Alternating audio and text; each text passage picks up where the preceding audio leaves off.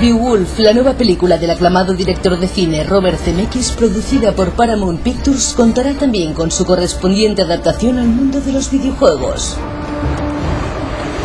Su argumento, de marcado estilo épico, fue escrito hacia mitad del siglo VIII, siendo el primer relato compuesto en una lengua europea. El relato nos cuenta la historia de Beowulf, un legendario guerrero escandinavo del que se decía poseía la fuerza de 30 hombres y quien ahora deberá derrotar a un malvado gigante llamado Grendel. Dicho gigante está aterrorizando los pueblos del reino de Dinamarca, pero sin embargo su gran ambición le llevará a librar una batalla para derrocar al rey y tomar así su lugar.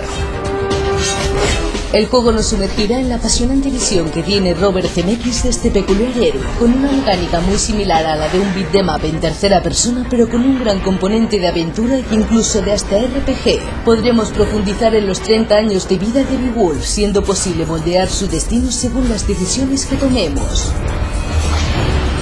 Es por ello que nuestro protagonista podrá ir evolucionando a medida que derrotemos a los distintos enemigos, equipándose con nuevas armas y armaduras. También aprenderemos nuevos movimientos y combos que mejorarán aún más sus habilidades en el combate.